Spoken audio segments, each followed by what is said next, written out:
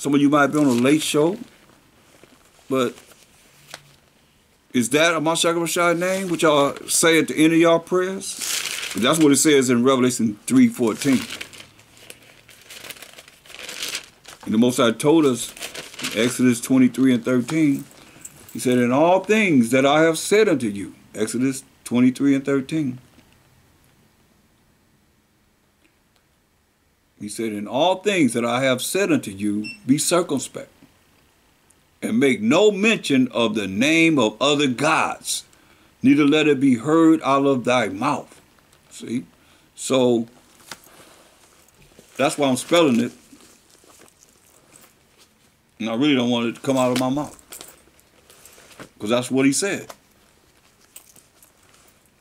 But they put it there, and you make it make sense. It don't make no sense.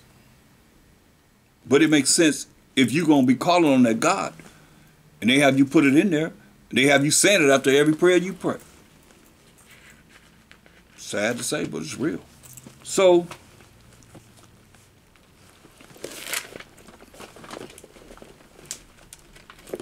let's look at um, what we want to be and how the Most High, He got us. Going back to, uh, we got to finish that in Matthew 5 17.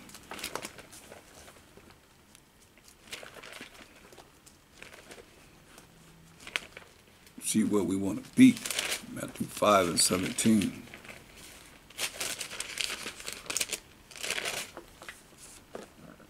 Think not, I mean, don't even think that I am come to destroy the law or the prophets.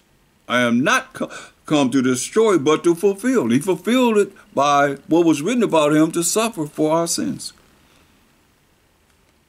Oh, I think that's Acts third chapter. Let's see.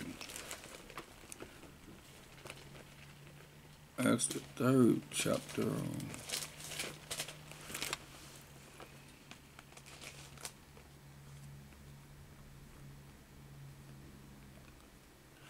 Verse 18.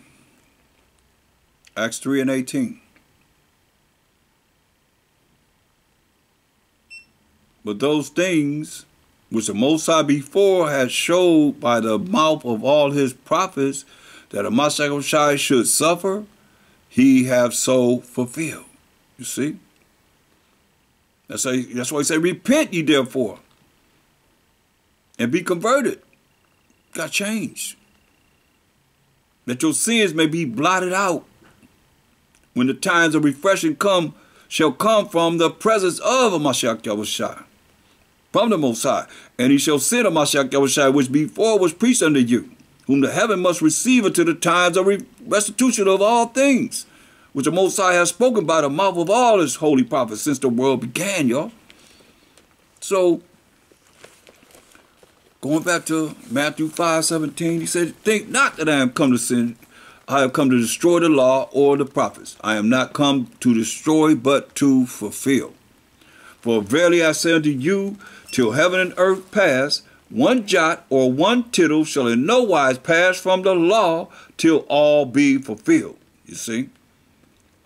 Whosoever therefore shall, just to these preachers and these teachers out there, ministers, whatever they call themselves, whosoever priests, Whosoever therefore shall break one of these least commandments and shall teach men so, like they say we're not under the law, but we went through enough scriptures today to prove that we're under the law.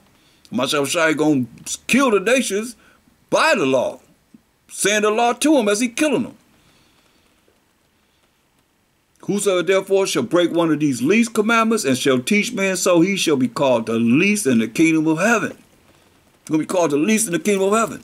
But Whosoever shall do and teach them, do and teach the laws of the Most High, the moral laws, the civil laws, the dietary laws, the ceremonial laws. And you can go online on YouTube at my page, Priest Thaahwam, T H A A H W A M P R I E S T. Thaahwam, T H A A H W A M, and type in going over the laws. And once you start going over the laws, you can learn the laws. That's what I say. But whosoever shall do the laws and teach them the laws of the Most High. the same shall be called great in the kingdom of heaven. You want to be great in the kingdom of heaven, you gotta you gotta do the laws. Look, Matthew 19, 16, right to the point. Matthew 19, 16. This rich man came and asked Mashiach Shah a question. Let's see what he said. Matthew 16, 19. 16, 19, 16, Salakia. And behold, one came and said unto him, Good master, what good thing shall I do that I may have eternal life? What good thing can I do to have eternal life, to live forever? And he said unto him, Why callest thou me good? There was none good but one. That is the Most High. But everybody say they good now. So they represent the Most High. They the Most High. Say ain't nobody good but the Most High. But you'll find people say, I'm good, I'm good, I'm good. they've heard it. They still saying I'm good. Okay. Mashiach Shai said, there's none good but the Most High. And if y'all will enter into life, keep the commandments. Can't get no clearer than that. That's from Mashiach Yahushai mouth. He said, keep the commandments. You want to enter into everlasting life? Keep the commandments. That's what he said.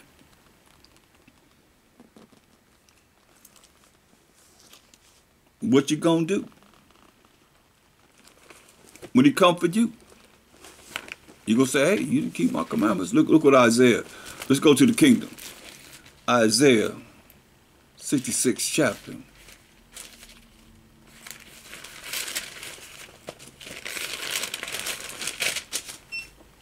And all you say, oh, the most I know my heart, I can eat whatever I want to eat.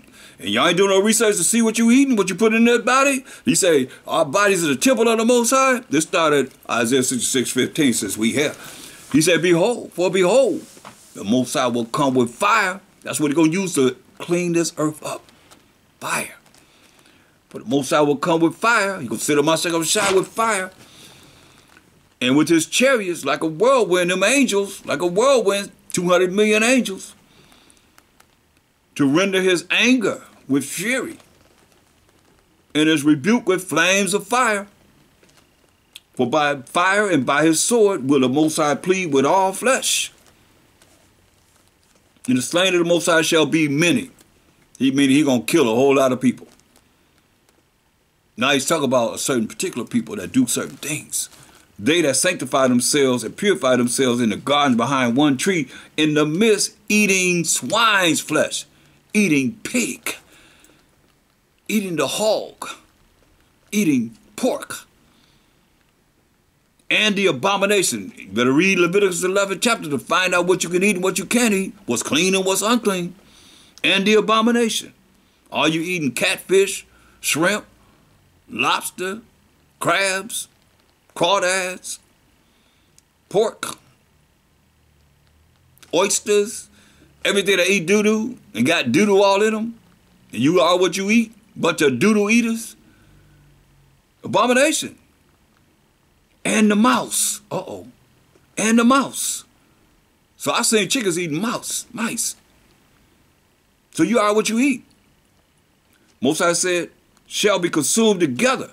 Not only that, they eat dead bodies, and turkeys are, are the vulture family. That's why they would eat dead bodies. But y'all ain't y'all ain't looking at what it is that y'all put in your your system. Why you eat turkey and all of a sudden you go to sleep. Everybody go to sleep. eat turkey, that's so you get sleepy. Something's in there that's not right for your body. Look. He said, shall be consumed together, said the Most High. Most High gave us quail. You think he could give us chickens? we was in the wilderness complaining, murmuring against Moses. We ain't got nothing to eat. We ain't got nothing to eat. So he gave us quails. Clean bird. He said, those that eat the abomination, you better be looking at what you put in your body. Because he said, we going to make our abode in you. And we are the temple of the Most High. You don't dwell in those temples made with hands. We are the temple of the Most High.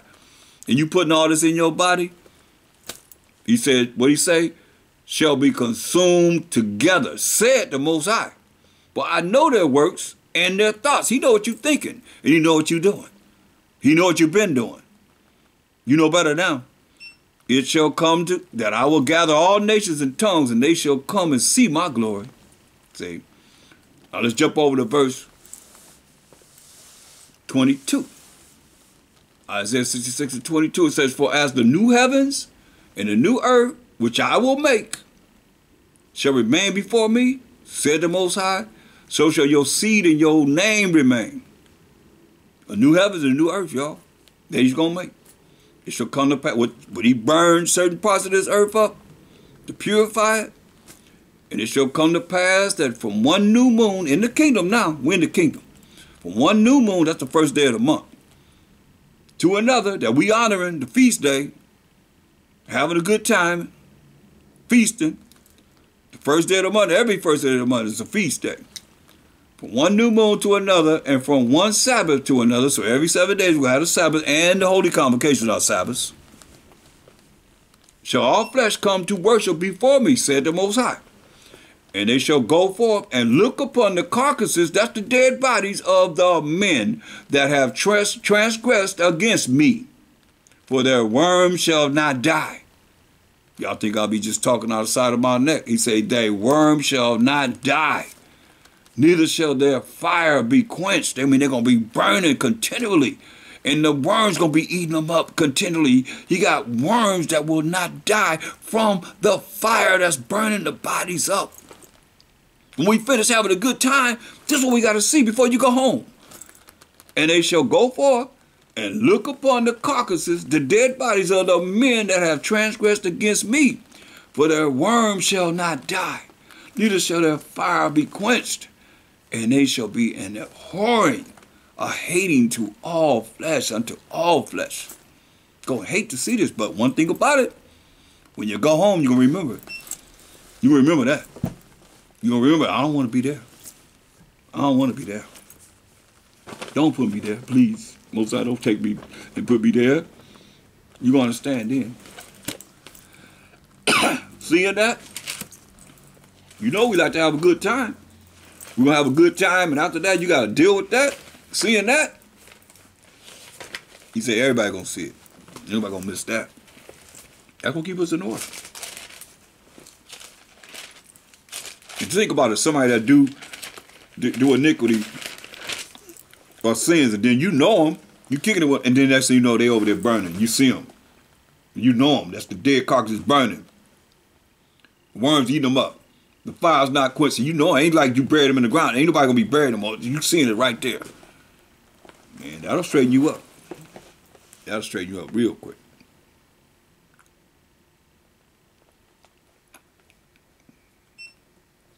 Look at uh, Hebrews, the fourth chapter, in the 15th verse.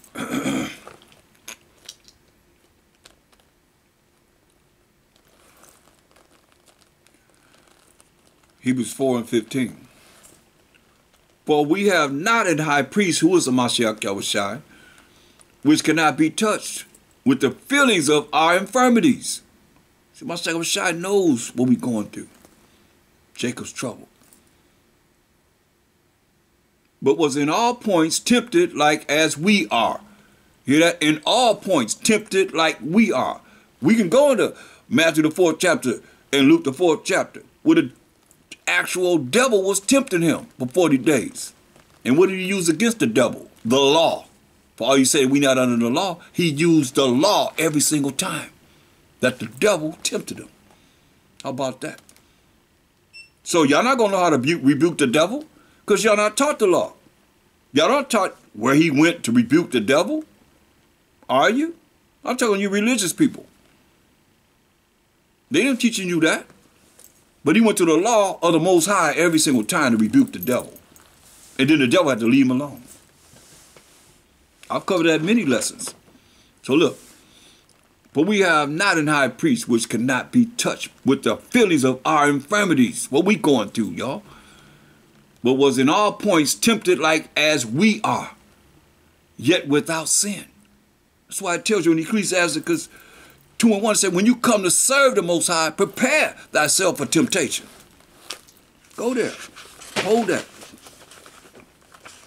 This is a preparation that you should be getting right now. It says, My son, if thou come to serve the Most High, prepare thy soul for temptation. When you come to serve the Most High, just like I'm saying, he was 30 years old. That's when the ministry started. 30 to 50. He was 30 years old, when his ministry started, he fasted for 40 days, 40 nights. And who was tempting him? The devil, like I said, when you come to serve the Most High, that's a ministry. Prepare yourself for, pray your soul for the devil. What do you say? Set thy heart aright. Set your mind aright by do what? Keeping the law, statutes, commandments of the Most High. You know them, then you break it down and send them out to Him. You want, you got problems in your house, play them laws in your house. Because He can't deal with the law. He's contrary to the law. Set thy heart aright and constantly endure and make not haste in time of trouble. This is Jacob's trouble. Say, don't run in time of trouble. He said, cleave unto him, cleave unto the Most High, more and more and more, and depart not away. Take that thou mayest be increased, not decreased, but increased at thy last end. He said, whatsoever is brought upon thee, take cheerfully, and be patient when thou art changed to a lower state. Just be patient. Patient deal with time. Everything is not on your time, it's on his time. That's why he said, but gold is tried in the fire, and acceptable men in the furnace of adversity. Believe in him, have faith in him, in the Most High. And he will help thee. Order thy way of right and trust in him, have faith in him. That trust is that faith you have in the Most High. Ye that fear the Most High, wait for his mercy, and go not aside lest ye fall. You fear the Most High, wait for his mercy. We know Isaiah 14 1 says, For the Most High will have mercy on Jacob and will yet choose Israel and set them in their own land. And the strangers shall be joined unto them. They're going to cleave to them. They're going to be bondmen and bondwomen. Just like we were bondmen and bondwomen. So now let's go back to Hebrews 4 and 15.